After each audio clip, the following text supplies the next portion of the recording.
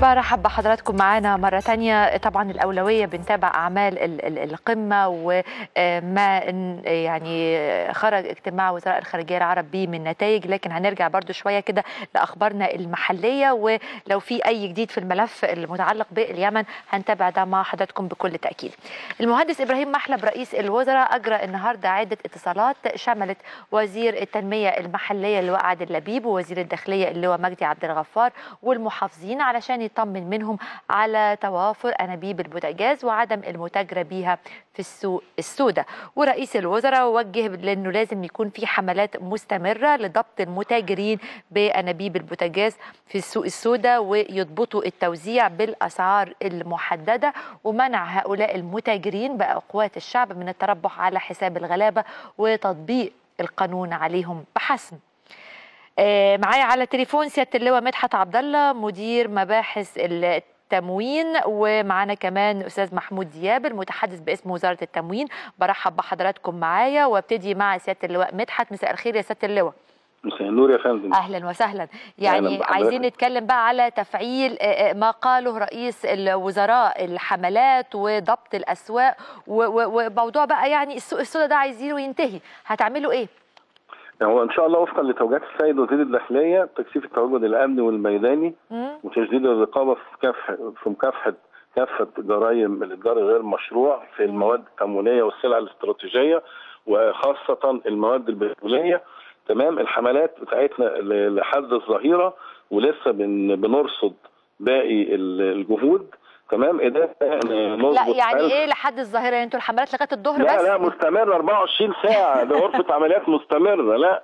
طيب اصل لا، طب لا. أنا عايزه أقول لك. على حاجة بس. لا أنا بقول الجهود اللي جمعناها لحد دلوقتي ولسه الحملات بره على مستوى المحافظات كلها بالتنسيق مع قطاع الأمن العام وحملات الإدارة والفروع الجغرافية والمناطق الجغرافية التابعة لينا.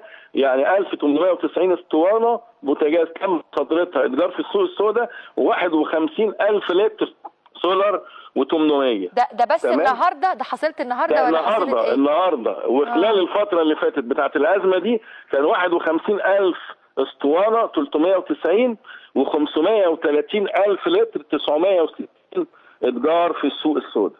يعني الحملات السابقه قبل يوم 26 51390 أسطوانة. إحنا تمام؟ آه ب آه 226 قضية. ب 1000 1295 قضية. والسولار 530 ألف لتر 960 ب 226 قضية.